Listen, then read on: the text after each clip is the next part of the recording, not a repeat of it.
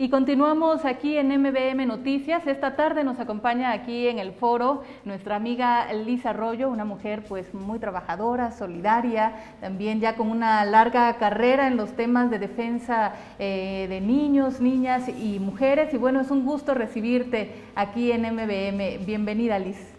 Gracias, Evelyn. Te agradezco mucho la invitación a MBM. Muchas gracias. Y a nuestro auditorio, al auditorio que hoy nos está viendo, pues les agradecemos y muchas gracias a ustedes por la invitación. Pues al contrario, es un gusto recibirte aquí y mira, me gustaría que antes de, abordar cualquier tema, me gustaría que nos platicaras un poco acerca de ti, también para que la gente que nos está viendo en estos momentos pues conozca un poco más, más de ti, de tu carrera, de lo que haces y has venido haciendo durante varios años atrás. ¿Quién es claro Arroyo? Claro que sí, Evelyn, con mucho gusto. Fíjate que yo soy una mujer oaxaqueña que nació, que creció y que actualmente vive en esta ciudad de Oaxaca, hermosa, divina. Y también quiero comentarte que yo vengo de una familia de seis hermanos, mi madre, mi padre son de origen indígena, mi madre eh, actualmente es ama de casa y era comerciante en su momento, ahorita ya dejó un poco de trabajar por la edad que tiene. Y mi padre, un carpintero, igual muy orgullosa de la familia que tengo, y mi madre más que nada fue la que pues me enseñó a trabajar, a ser pues siempre responsable, trabajar en equipo, ser solidaria con la gente, porque quiero comentarte que mi madre en su este pues muy pequeña perdió a sus padres. Y ella siempre fue la que nos dio los principios más fundamentales, pues que era ayudar y servir a la gente. Claro, y desde luego también me imagino que un ejemplo a seguir. Comentaba al iniciar entrevista que tienes un, eh, pues un amplio camino ya recorrido en los temas de defensa. ¿Qué significa para ti estar eh, pues inmiscuida, estar involucrados en estos temas de defensa, sobre todo de niños, de niñas y también de mujeres, que digamos son los rubros más vulnerables?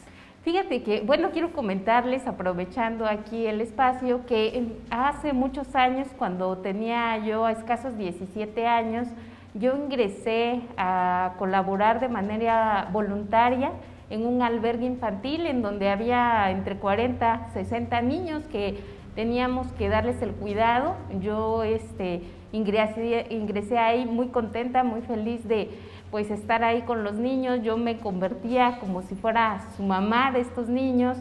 Yo era de verdad muy feliz haciendo esta actividad, no me pagaban, pero yo durante siete años estuve ahí puntualmente, entraba yo los sábados y salía yo los días lunes en la mañana, este, y eso donde yo supe que tenía que servir a la sociedad, supe que tenía que yo apoyar también a la gente que más lo necesita, a las mujeres, porque soy mujer obviamente, y hemos, bueno, sufrimos muchas cosas, hay veces sin darnos cuenta, sufrimos violencia y se nos hace normal, ¿no?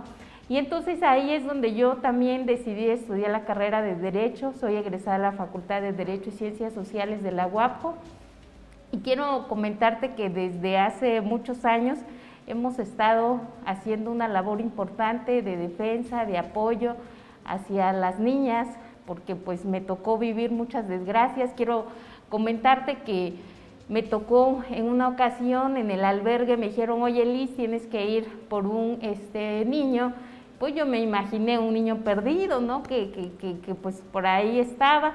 Y cuando nos llevamos la sorpresa, iba yo con un doctor, con una trabajadora social, y llegamos a un basurero donde estaba una sabanita, el doctor vio al niño que estaba ahí en ese gran basurero y nos dijo, este bebé tiene aproximadamente dos horas de nacido, el bebé ya tenía pues, pues algunas lesiones porque las hormigas ya le estaban pues carcomiendo su pielecita.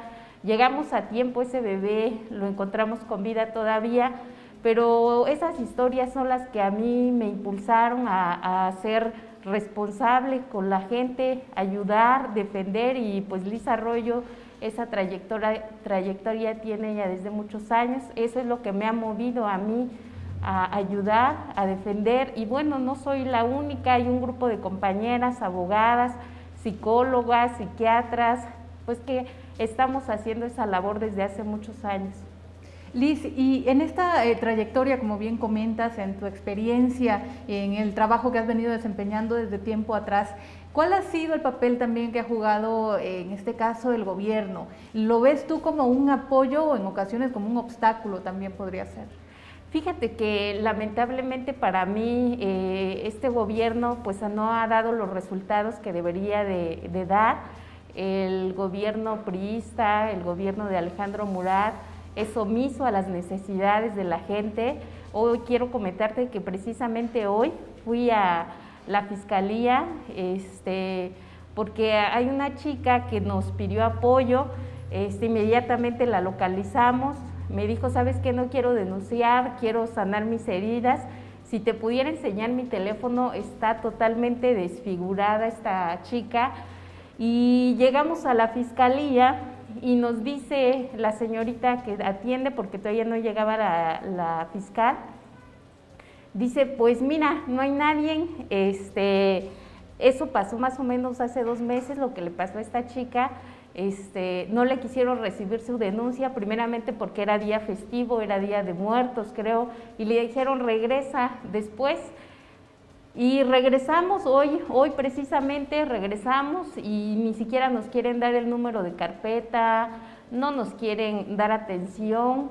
Y lamentablemente esto pasa siempre, tenemos muchísimos casos, ojalá algún día nos dé la oportunidad de regresar y presentar muchos casos de violencia, de violencia intrafamiliar, de abusos sexuales hacia menores y tenemos muchísimos casos y sabes que no se resuelven, no avanzan y esto es causa de un gobierno que no le importa a la ciudadanía, no le importa los problemas de los ciudadanos y lamentablemente pues se enfocan únicamente a pues temas políticos, temas electorales, pero hoy yo pienso que la gente también ya estamos cansados, los ciudadanos, de estar este, pues creyendo en gobiernos corruptos, en gobiernos que nos roban, que nos mienten y que nos traicionan permanentemente.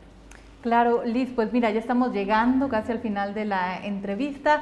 Eh, rápidamente, algo más que quieras eh, comentar, también eh, por ahí se nos, ya se nos, se nos hizo un poco corta la entrevista, tu opinión también nos las has dado respecto al gobierno de Alejandro Murad y qué opinas entonces también de la, del gobierno que está llevando a cabo el presidente de la República, Andrés Manuel López Obrador.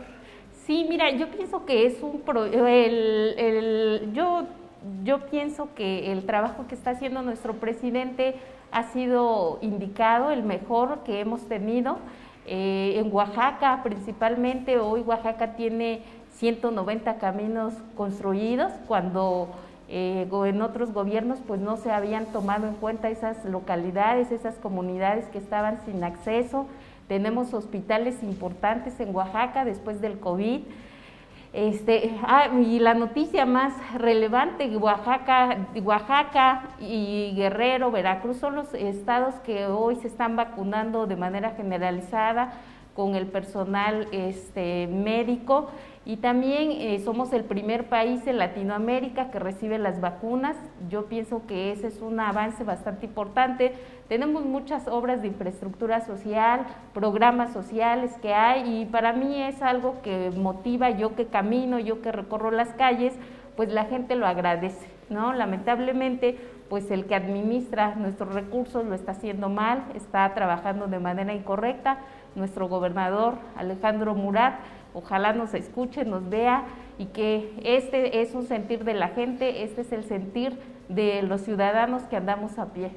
Claro, Liz, pues no nos queda más que agradecerte la charla de esta, de esta tarde, eh, pues bueno, hacerte la invitación, más adelante ojalá puedas también acompañarnos y seguir contándonos un poco más de todo lo que sigas haciendo y construyendo. Claro que sí, muchísimas gracias a ustedes, Evelyn, y por último quisiera invitarlos a que nos sigan en nuestras redes sociales, me ubican como Liz Arroyo, Ahí contestamos también, nos pueden escribir, estamos dispuestos a apoyar, a servir y a defender. Muchas gracias, Evelyn. Muchísimas gracias a ti, Liz. Vamos a continuar con la información.